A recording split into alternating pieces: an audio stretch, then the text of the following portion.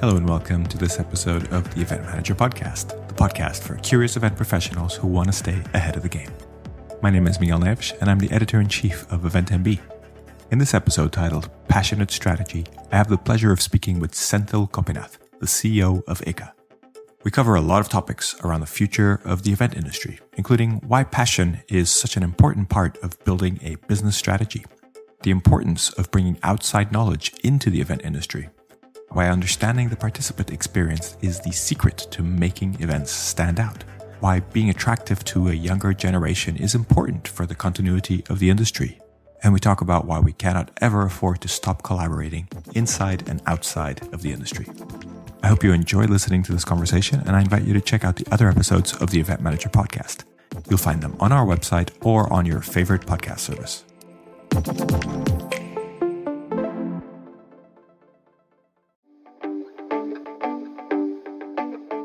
Now, for a word from our sponsors PHL Life Sciences, a division of the Philadelphia Convention and Visitors Bureau. Host your convention or trade show in Philadelphia, one of America's leading life sciences hubs. PHL Life Sciences, the first and only CVB division of its kind, will connect you to the professionals at the forefront of your industry and to a culture you can only find in Philadelphia. A city known for its rich history that's forging a bright future, Philadelphia challenges the expected and defies convention. A world of discovery is waiting. Visit phlife.com to learn more.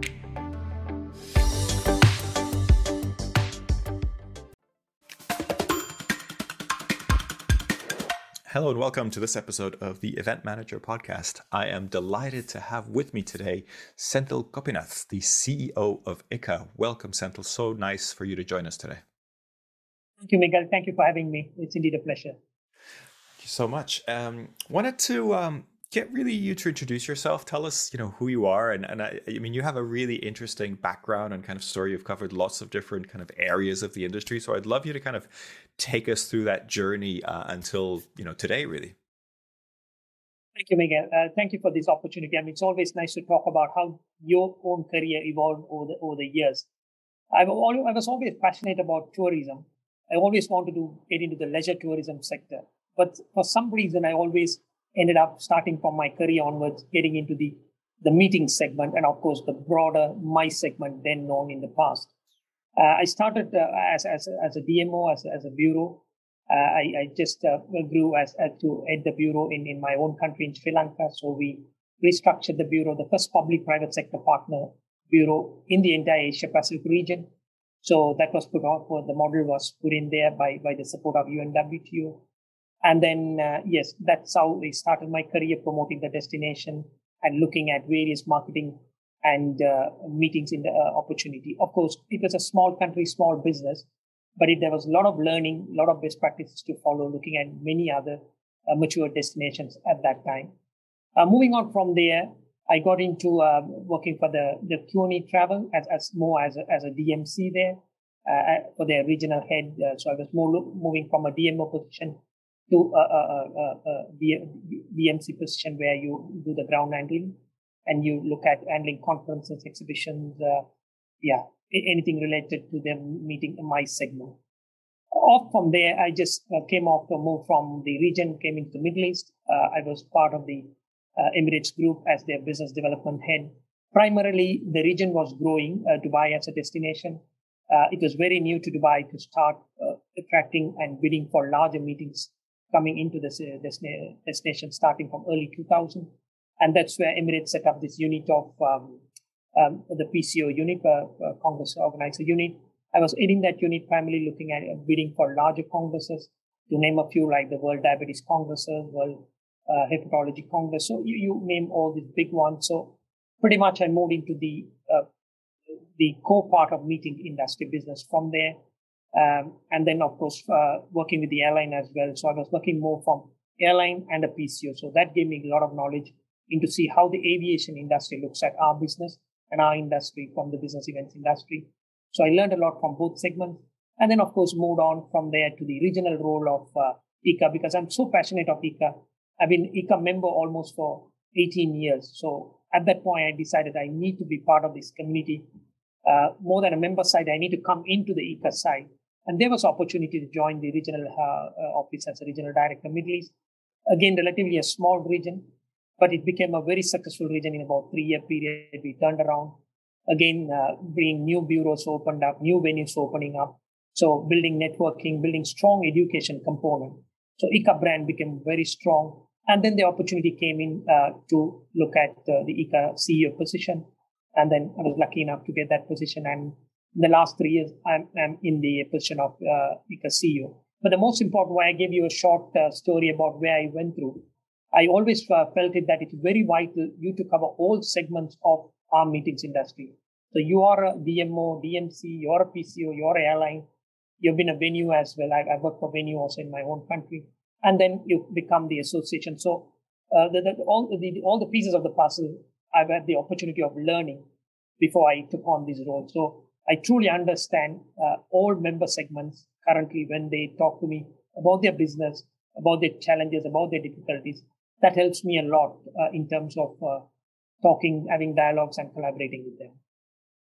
I think you make an excellent point there. The the wide experience is hugely beneficial to, to kind of understanding all the industry. Um, I noticed in your bio, you, you, the first thing you, you mentioned is you call yourself a passionate strategist. Um, could you explain to us what that term means to you? Yeah, uh, it's very important. We, we either we we all become strategists or in a particular business, or we become passionate. Why I always look at the passion and strategy is very important when you have passion, uh, when you want to build a strategy for a particular industry, whatever you want to do, whichever industry you're in, if you don't have the passion, the strategy does, tends to drive towards the business goals. So it's always you look at, okay, this is the, my company wants it, this is the business strategy, and I put that plan together. But we, we tend to miss our own passion towards it. So that because if you put your own passion there, uh, your team and you're achieving your goal becomes very much uh, relatively easier and it becomes long term as well because you want to stay in this business much longer rather than looking from a job point of view. That's what I, I always tell that when you have a, a passion towards a strategy, your strategy always tend to work more successfully. I like that. You you know, it's really uh, passion and strategy combined can really um, can really take take things to the next level. And uh, a curious question, uh, which I hope you you you find also curious. Um, how do you explain to people outside of the industry um, what you do, or, or, more, I think, more what ICCA does? You know, the organization that you lead. Believe me or not, uh, excellent question, uh, Miguel. It's a big challenge up until now. Even to tell my own family members, it's not easy. Uh, particularly your, your very valid question outside the industry. But I always tell a uh, very simple uh, uh, definition. We bring people together. So we are the people who bring people to meet each other. So it could be two people meeting, it could be 2000 people meeting. So that's, that's my, the initial start of explaining what's our industry all about. Then I, then I give the other, other definition. Who are these people who ensure to meet the, bring these people together? Is the tourism board. I first start with the tourism board and then give a definition to the convention bureau. Because if you say the uh, convention bureaus directly, a lot of people outside the industry don't understand. Tourism boards, they understand. So majority in the world, bureaus are pretty much under the tourism board as, as an entity. And then I talk about a venue, I say it's the it's an exhibition center where you go for a normal consumer fair. And that's where we do our congresses. So in a nutshell, that's what I put the story together. I think it's it's really interesting. I think you you you you take a an approach similar to, to many other people who have asked this question, which is in some sense to simplify, you know, to make sure that the conversation is accessible, which I think is is important. Do you think that that is a sort of symbol of any sort of barrier, um, or is that just a natural thing? Like I think in other industries also are quite complex and hard to explain. Do you think it's just a normal thing, or is that something that we should work towards uh, overcoming in some sense?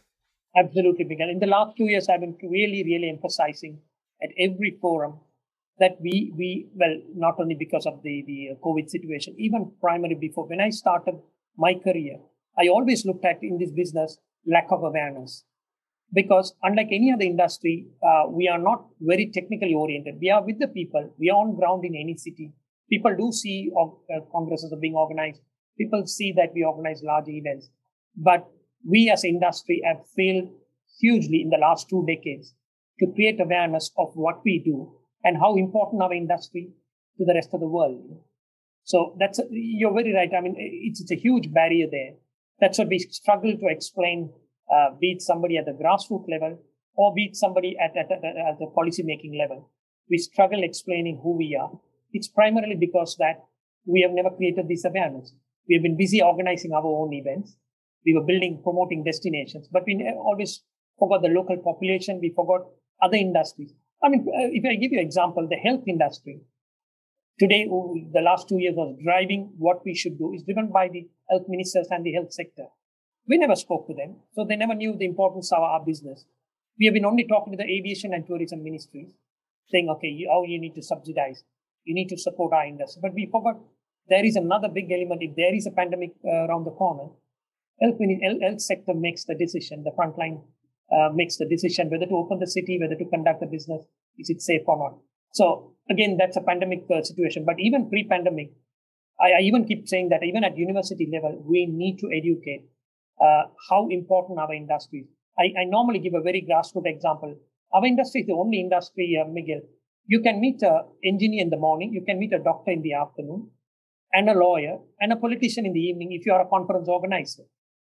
Or even if you're a DMO, because you're bidding for four different congresses. So you're making, doing an RFP or discussing with the association uh, of, of who's a doctor who's leading the association.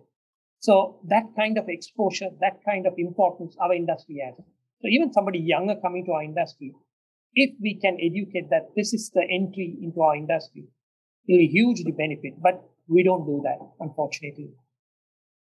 Absolutely. I think there's definitely a, an opportunity there to, to, to kind of improve.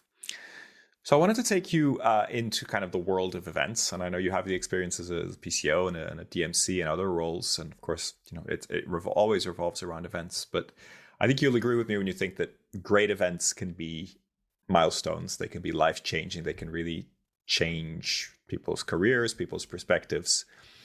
But you know, I think we will all aim to design great events to create great experiences. In your mind, what does it take to get an event to be good, to go from good to great? You know, to really excel. What what are there kind of basic things that an event needs to get absolutely right to go from good to great? One of the most important thing, uh, Miguel, is understanding your participants' experience. Now, this is, has nothing to do with what we are doing after uh, looking at last two years. Even way before, when we started three decades ago as an industry, we always started with the objective of creating experiences because people come from different parts of the world, different education levels, uh, different exposures.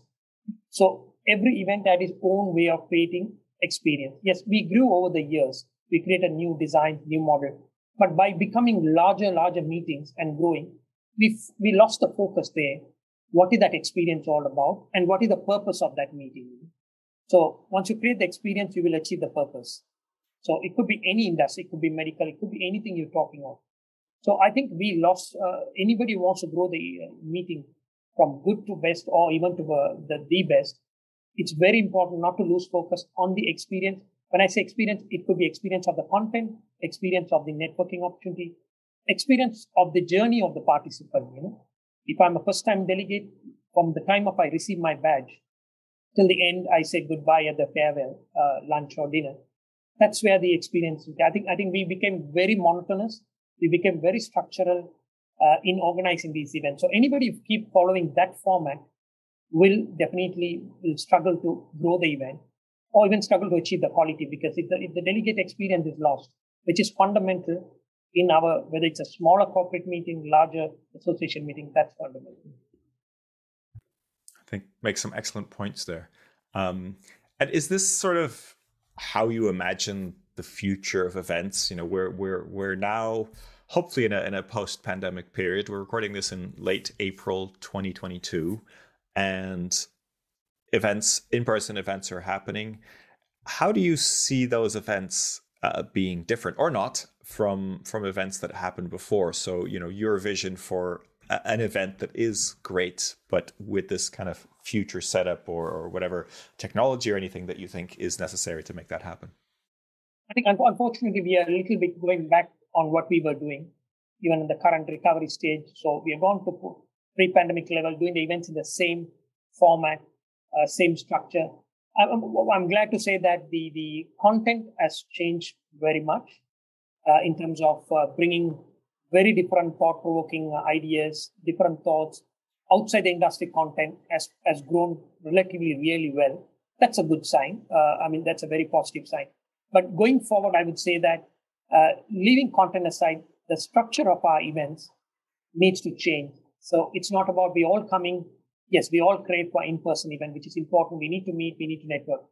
But the the in-depthness of what we are trying to, uh, the message what we are trying to give, has to change at the event because there are so much of activities going on across the world.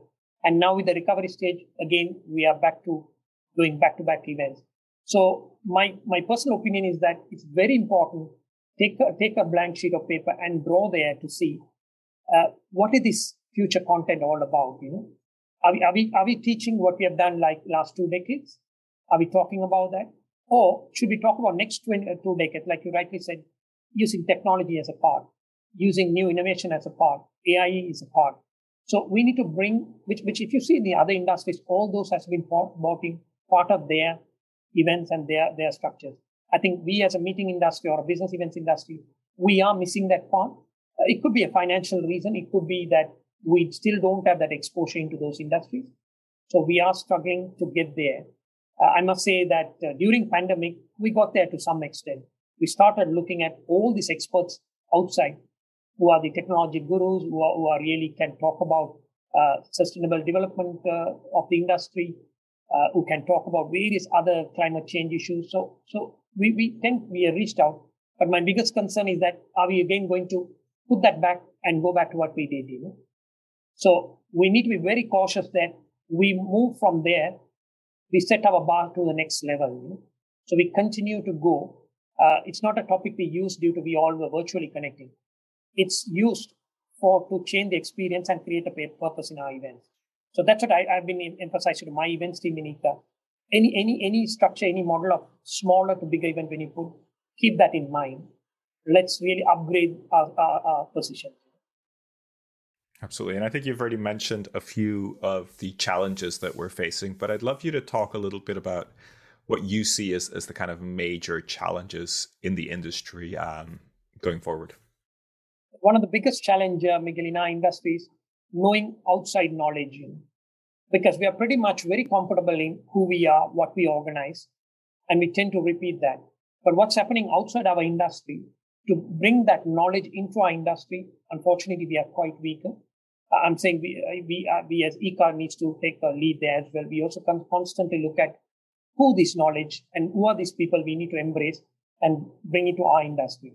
So it could be from any sector uh, it could be on innovation, it could be on technology, it could be on climate change, it could be on sustainability.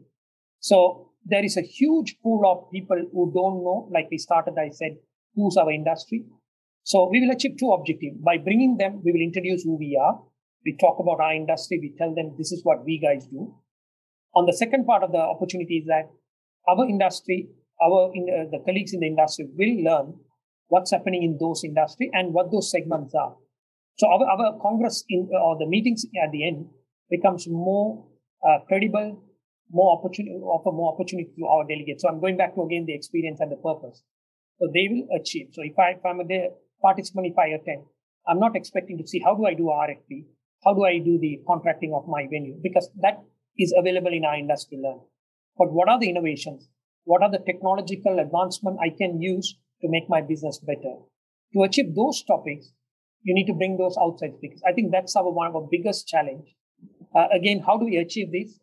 Uh, you need to make a lot of investment. I understand because these these knowledge doesn't become uh, quite. Uh, I, I, don't want to use, use the word cheap, but it's not it's it's not easy to access because we are we are very good in accessing the knowledge within our industry or in the periphery of our industry. But when you go a little further, uh, let, us say for example, if you bring to bring something like Elon Musk, you know, I know it's like at the top of the end, but something like that knowledge, our industry need to find a way. So it needs investment, but more than the investment, I think I would look at it. We as association, we don't have that kind of uh, huge um, uh, uh, the financial benefits, but still we have the network. That's the beauty of our industry. Through our network, we can reach. So if all of us collaboratively, each uh, meeting industry association, start focusing on these elements, we will start building this knowledge step by step by step. It's a long process. It's not going to happen in, uh, in, in, a year or two. But in the next uh, decade, we would have transformed our industry and bought into those knowledge spheres. Otherwise, we'll go back in what we are doing in next 10 years. It sounds to me like you're saying we would really benefit from external knowledge, you know, um, business knowledge, industry knowledge, other innovation, anything like that. And I think that makes a lot of sense for a kind of more senior part of the industry that has the experience, right? They know how to organize events, they know the details. How do you think you can balance that? Because I would imagine as as ICCA, you have to provide education for your members, and you have members at all parts of the spectrum, right? So you still, I, I would imagine, still want to educate people on how RFPs work, how bids work, how congresses work, etc. But you're really saying we need to do more. And how do you think you can balance that out? Because I feel like, in some sense, what you're saying is you want to bring like an MBA level education into the industry. Um, isn't that something that people should go outside the industry for? Or why do you think we need to bring that into the industry? You know, how do you think we can do that? It, it's not it's not about academic. You're you're very right. We we I'm not saying that we will tend to take the fundamentals what we teach uh, at our events. Those would remain. It has to, you have to strike a balance, of course.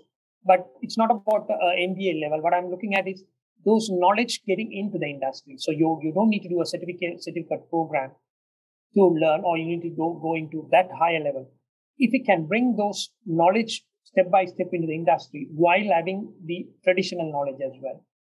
So we are not going to overnight, like I said, won't change entire our model to 100% external knowledge. Why I'm talking about external knowledge is because that will really transform the industry to look at how the ways of new ways of working. I mean, let's look at the Miguel, the COVID uh, pandemic time. We all start searching for what's new, you know. We even started using various new words, new normals, new this regeneration, reinventing, reformatting. Why? Because our knowledge sphere was very limited within the industry. If we had those knowledge, uh, I, I, don't, yes, we knew uh, due to pandemic, we can't organize event, but we wouldn't have faced such a drastic learning process when the times are difficult. So at least we are somewhat prepared over the years so that if there is another challenge or another disaster comes our way, we know how to really, you know, flip the industry and survive. Now, this I'm looking at from a smaller PCO company, DMC company, smaller bureaus. So I'm looking at everybody's benefit, you know.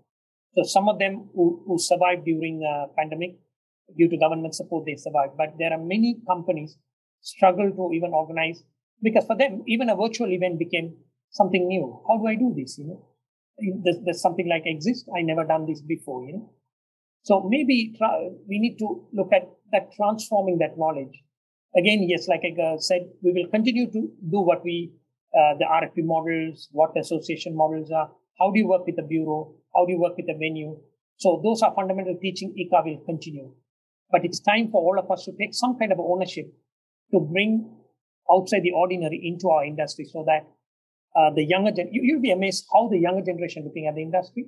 That's one of the reasons that we are unable to attract a younger generation into our industry. Today, you, you look at the, the uh, employing skillful people is a biggest challenge because they are looking at the industry still pretty much uh, traditional because they, they see outside there are a lot of things have changed, but I can't learn or I can't benefit if I come to this industry. So if you strike a balance, it'll it'll solve a lot of our challenges, I must say. Are you ready to celebrate your successes in the world of meetings and events? The Skift Meetings Awards are back for 2024, recognizing the most innovative business events companies across 15 categories, and we want you to be a part of it. Winners will feature on Skift Meetings, sending a clear signal to events professionals around the world that these are partners they can rely on. The final deadline for submissions is June 11th. We encourage you to start your submission today to secure the best entry rates. For more information and to start your submission, head to live.skift.com. think that that's really fascinating. I, I was just thinking, so you know, you mentioned Elon Musk, or you know, as an example of you know a keynote or someone really you know knowledgeable, mediatic that could bring something interesting to an event. Um, I remember earlier you also talked about how we need to connect with different industries and, and kind of make those bridges not only when we need them when we're in a crisis but at all points right do you think that there is a way to connect with those industries in a way that we can bring that content into conferences events and into our general education but also that we can educate. And I'm saying this because I think, you know, if you were able to get Elon Musk to come to the ICCA Congress, I mean, I'm sure it'd be great. I'm sure it would attract a lot of people. But I, I, I, would imagine that Elon Musk has a very busy schedule and, and the amount of education he'd want to kind of consider about the event industry would probably be minimal. So how do we how do we break that barrier so that we actually use it as an opportunity to also bring knowledge of the education into the other industries? Question, Miguel. Yeah, that was an example. I know it will be too difficult to get him down for one of our events. Uh, uh, we, we, good, uh, good question, and, and it's, it's it's the right opportune time you ask that question. Uh, I, I, in ICCA, what we did, did is, uh, I don't know whether you saw the ICCA certification program. We changed all of our models starting from last year. It's you creating your own experience. So even, even this year's Congress, what we are doing, we are going to grassroots level to every member across ICCA membership in every sector, every uh, achieving the diversity as possible in every region telling them, send in your proposal, look at your local community, what kind of uh, speaker you want, what kind of topic needs to be addressed, and start submitting that to ICCA. So I know in, in, in, in a medical congress or any other congresses, you submit abstracts, but abstract is more related to your own uh, uh, learnings or your own industry. But here, we have gone to the industry asking them, uh, looking at the destination DMOs, the venues, who are very influential in their local community, who can approach those sectors outside our industry because they bid for Congress, they have the local ambassadors, they work with the local mayors, local policymakers. So we have approached all of them starting from two weeks ago. coming with what you feel it's uh, valuable to that community and who those outside industry speakers. So it's a start. It's it's a it's a model. Uh, it's more like a startup. We are trying to see. Let's take that lead and look at how we can approach the industry outside the industry and bring that knowledge. So this year's Congress will pretty much have a good balance of our traditional Congress model, but again, looking at outside the industry, again, very selective. We look at what is more important, what is uh, prudent for industry. Those uh, will be uh, sort of uh, showcased at the Congress. So yeah, that's one of the models we have looked at. We have gone into our members across the world.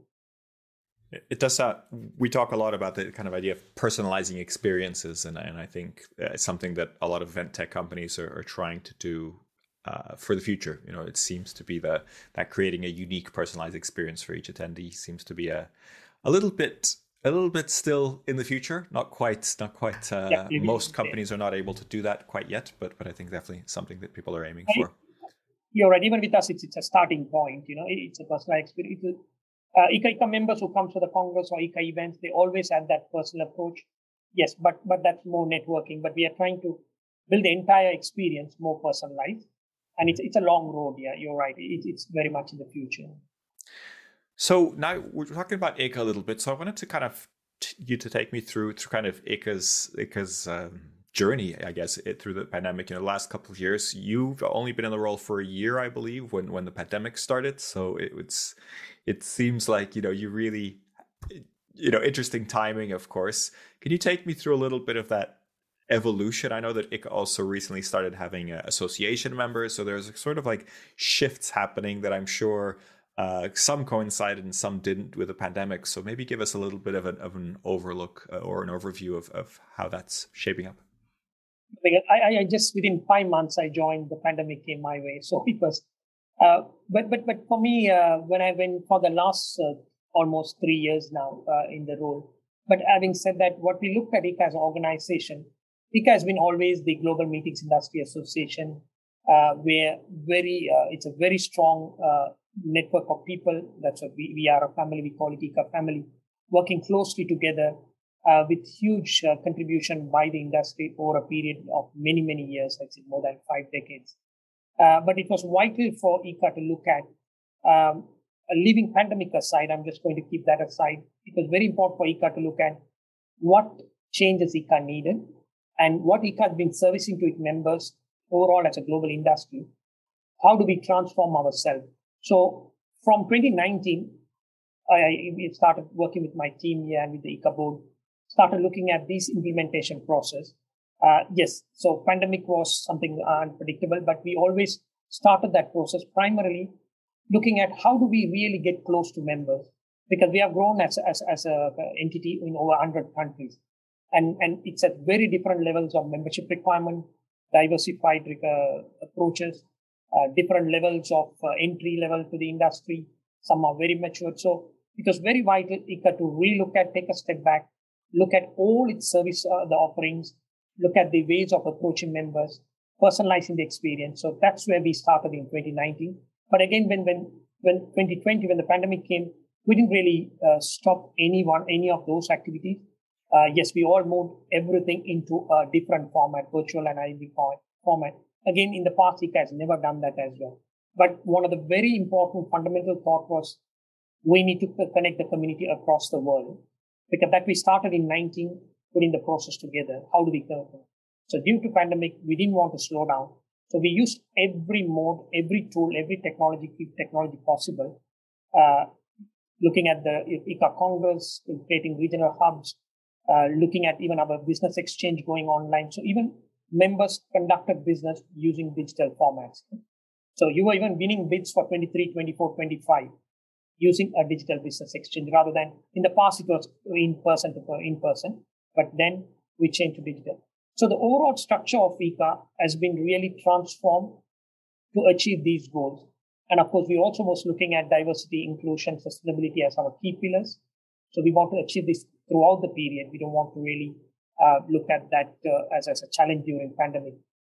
So ICCA Skill is another project, huge project launched during pandemic. Again, we, we, we it was already planned in 2019 to launch this project uh, end of 2020. So due to pandemic, reskilling became very important, but we already planned for it because we, like I said all during the call in the last 30 minutes, it's very important to bring that different types of knowledge to our industry.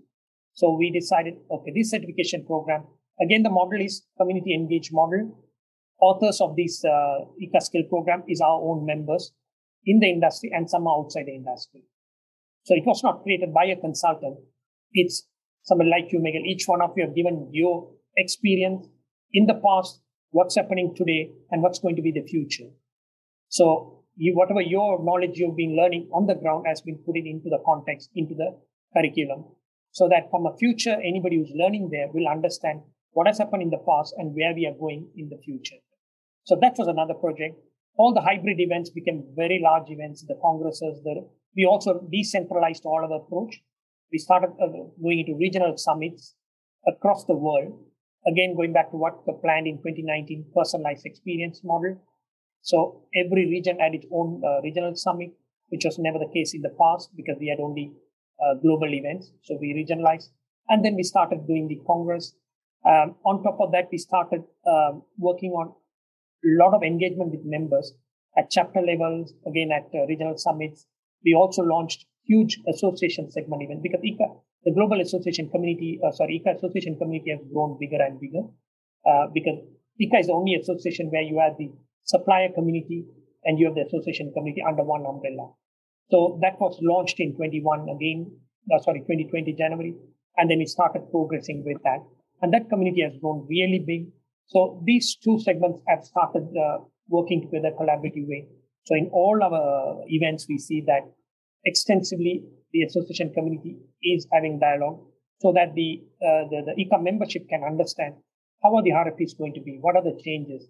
Uh, what's the association community's future forecast? What are they looking at? Uh, have they changed their model of their event? So that's helping a lot. So, funda- so fundamentally, we did a lot of shifts uh, in the ICCA structure itself so that uh, we are ready for the future. Uh, so basically, we, we, we considered ourselves more from from completely looking at our model of what we did in the last five decades. We said, okay, no, now it's time to rechange, remodel, and do. Again, this is not due to pandemic.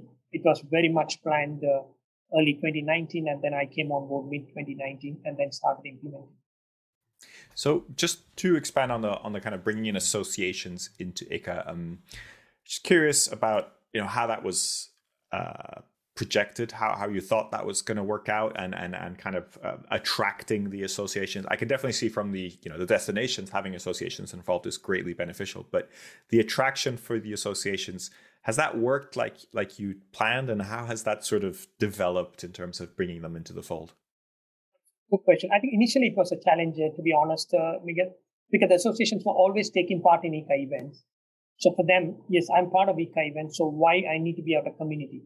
But when we created a separate entity within ICCA as association segment division, so we created that in uh, 2020 to really engage and get huge amount of opportunity for associations, not only working on ICCA events, but learning about the business events industry, learning about what's the future. And most importantly, the, between the associations, they needed a platform to talk peer to peer. Now that was bit, that was always a challenge for associations because they were doing that in certain areas. I mean, there are a group of uh, association communities uh, today. I mean, if you take uh, in Europe and in, in the US, but across the world, they, they want to understand the global knowledge. So they want to use, they want to use ICCA platform to understand what's happening in Asia, what's happening in Africa, what's happening in Middle East. So ICCA was a great platform for them to learn what are the association colleagues doing there, how do we uh, learn do learn through them, how do we share the best practices with them? So servicing them as a separate unit and, and focusing. Now we have a, a three member staff working full time servicing. We even have an advisory committee which has 10 member association. So they look at every quarterly what's the what's important for the association. So those are the attractions that associations felt that I need to be part of the community. So more than attending an event, I have huge other learning opportunities I can be part. And I'm glad to say that the association community has grown hugely. We almost had almost getting close to about uh, 200 associations now. So, uh, which which we, if not for the pandemic, we predicted this to grow close upon to 500 in the last two years. And it's a it's a association wide membership, or is it an individual membership in this case? Uh, it's it's association, but we we also started. You can represent more uh, from your association, so more than one. So the, the association is a member, uh, but you can have multiple people from your association so that we don't want to restrict. So we have almost 400 association executives part of it now. So that keeps going on a daily basis because uh, so it's not only the, the CEO of the association or the secretary general, it could be because again the thought is that we wanted them to actively engage and learn from their peers. So if I'm doing association, uh, so say legacy work, I want to learn from somebody who's doing legacy in another association. So that's what I do. That makes sense. And and um, so do you see yourself as competing with other kind of bodies that are bringing associations together? You know, there's a number of them, ASAE and the ESCA and those kind of bodies. Do you see yourselves as competition, or are you are you able to partner with them in some way? Absolutely. No, we, we, we never see them as a competition. We we partner. I mean, we have very strong relationship and partnership with ASAE, ESA, AC Forum, we're jointly launching an event uh, going to happen uh, first week of July in Lausanne. So it's always that ICCA platform is very clear that it's engaging. Uh, again, all these through all this partnership, it's again a benefit for ICCA community members, association member, association community representative to engage with those communities as well. So we consider ourselves is like a, a platform commonly developed so that it brings all the other entities together and then the representatives who are part of ICCA, association representative, can engage with all this. And they can take part. We share all what's happening with these uh, association groups on a constant basis. So if they are not, not aware about what's happening, we share with them. So again, it's a learning platform for them. Oh, I mean, I keep getting associations talking to me. Oh, there's an event of ESA. Can I take part? Yes, we say. Then we put through both parties together. They register there and they attend. So it, it's never a competition. I mean, we uh, because we, we, we also, Miguel, we never ever use a marketing uh, terminology or marketing uh, to promote the association community. We always tell them, once you come on board here, you have all the other opportunities. So it's not building the numbers within ICCA. That's not our objective. Our objective is to grow this community uh, much uh, in a sustainable way so that they benefit and of course ICCA members benefit as well. That's very interesting. I also wanted to touch on you mentioned the the ICCA Congress and other events that you've done in, in hybrid formats. Um, wonder if you could share any plans for the next Congress and what are you keeping from the hybrid? Are you going to do a completely hybrid event with multi hubs, etc., like you've done in the past, or are you going for a different model? You know, what what are you what are you holding on to, and what are you kind of letting go from from the pandemic? Yeah, again, a good question. I think the member feedback what we got is they they all wanted to become in person. Uh, so because members who met at the regional hubs mm, uh, missed about other regional uh, sort of networking collaboration. So so we are looking at primarily having a, a full uh, in-person event, uh, but we're also looking at a segment of uh, sharing the content through live streaming or, or, or, or what technology to use. We're still working on that so that the members who are unable to travel, unable to attend, they still have the opportunity. Regional hubs, yeah, we, we won't do that. So primarily, we want to try and get the entire community together as much as possible. Yeah, and I, I, I assume you're not going to be calling it a hybrid then, but will it have a sort of online component but be in person, or how are you kind of marketing that? Something like that. We're looking at yeah that model absolutely. Yeah, I think that's that's the common model that a lot of people are, are heading towards. Senthil, uh, anything else that you'd like to mention? I think we, we've covered a lot of different things. It's really interesting to see the evolution of ICCA and especially, you know, your, your role over the last three years. I think it's super interesting. And we've covered a lot of your kind of vision for the future of the industry. So if there's anything else you'd like to mention, let me know, or I can move on to the last question of the, um, of the podcast, which is, um, you know what the last question is, but anything else you want to mention? Kind request. I think, Miguel, we all work uh, across uh, the, the, great industry. We all put our efforts together. We all work very hard during pandemic, and now where we are recovery, we are moving forward. I think all everyone who's listening to this podcast, all my industry colleagues, I keep telling, let's get together and create awareness of our industry, because the bottom line, what we faced in the last two years is primarily who we are became questionable. You know, if we can achieve that, it's a long road, like I said earlier, but a little contribution by all of us at every grassroots level if we can do that. Uh, so we, I've even started looking at projects uh, going to university students, entry level uh, people coming into our industry. The Future Leaders Council we set up is again another important project. Again, mainly, even if they leave the industry, they become our ambassadors. They talk about it. So we need to find ways, constantly create awareness so that again and again our industry will achieve different milestones. We grow, and we attract uh, good uh, knowledge into our industry. But most importantly, it will become a sustainable industry and policymakers understand us better. So our advocacy efforts will be really justified if we are known who we are. Uh, I know through pandemic, to great extent, we have surfaced a little bit as an industry because our venues are being used as vaccination centers, hospitals. So at least through that, we have been found out who we are. But yeah, if everybody can work together collaboratively, uh, that's a, a, great achievement. And that's one of the messages in the last three years as we have been reaching out to many, many my colleagues across the world. Collaboration is so vital. I know we all spoke about uh, in the last two years. I only hope that we will continue. I can see that we all going again. Yes, we have all have to run our business. I don't say no there. We have to do, but not to forget that if we collaborate, the awareness can be created in a better way uh, rather than you know we go individual uh, on our own tracks that will be again will fall back into what we know I think that's an excellent message to end with. So, I'd like to ask you to recommend someone um, that we should have as a guest on the podcast, and I'd like you to also say if you if you have any specific questions that you would like to ask them, or that you suggest that we ask them when we do bring them on the podcast. Yeah, I think uh, my there are many people you can bring. If I would recommend um, again bringing uh, somebody um, from a very leading startup company outside the industry, a young a younger person who, who's, who's I mean you know all these startups are quite younger people who starts. Uh, ask them what what is the passion for them to start an industry and how would they look at it they have to restart events industry. Excellent question. So really uh, looking for outside input, uh, fresh thinking, uh, maybe a, a, different way of looking at the industry and seeing where where that leads us. And I think that that would be a very interesting conversation. We can have a lot of learnings from there, and then use it to our industry as well. Absolutely. I know it's a tough one, Megan. Sorry, even to find somebody there. You know. Yeah, no problem. We'll, we'll, we'll search if you can help us find that person. I think that would be. Really I, I have a couple of people in mind. I'll, I'll yeah redirect your way as well. Yeah. Perfect. That sounds great. Senthil, it's been a pleasure. Thank you for being with us today. And uh, I wish you all the best and look forward to hearing more about the ICCA Congress and all the things you're doing with ICCA in the near future. Thank you very much, Wigan. Sincere thanks for having me, and I hope I shared whatever I can. Looking forward to seeing you in person in IMEX. Absolutely. Sounds good. Okay.